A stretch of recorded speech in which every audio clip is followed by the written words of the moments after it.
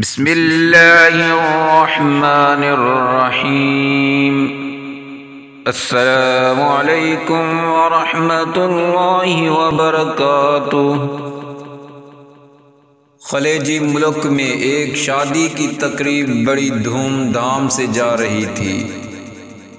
दुल्हा दुल्हन बड़ी शान व शौकत के साथ स्टेज पर बरजवान थे।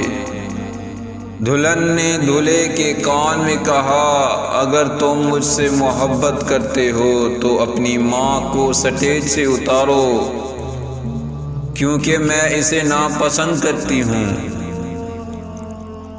दूल्हा उठा और मैक पकड़ा और तीन दफ़ा ऐलान किया, मुझसे मेरी माँ कौन ख़रीदेगा? ऐलान सुनकर हाजरीन पर सन्नाटा तारी हो गया।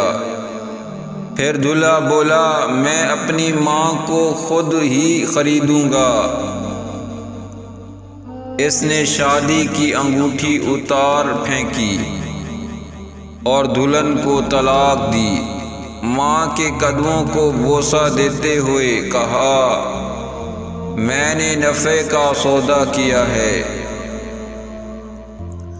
निकाह के लिए मुझे बहुत सी लड़कियाँ मिल सकती हैं, लेकिन अपनी माँ नहीं मिल सकती। हाजरीन में से एक आदमी ने खड़े होकर ऐलान किया। मैं इस नौजवान के साथ अपनी बेटी का निकाह करता हूँ और कहा कि इससे बेहतर खामद मेरी बेटी को नहीं मिल सकता। क्योंकि मेरी बेटी भी पाकिज़ा पाक दामन, मेरी फर्मा बरदार और नेक है। और ये नौजवान भी। बेशक नेक परेजगार मर्दों के लिए नेक पाक दामन औरतें हैं। और बुरे और गंदे मर्दों के लिए बुरी और गंदी औरतें हैं। इस नौजवान ने दुनिया भी कमा ली और जन्नत भी पा ली।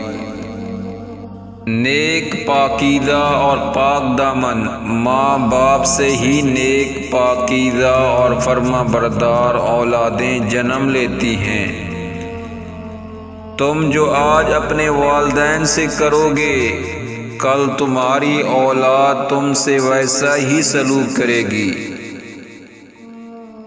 ये मकाफात अमल है।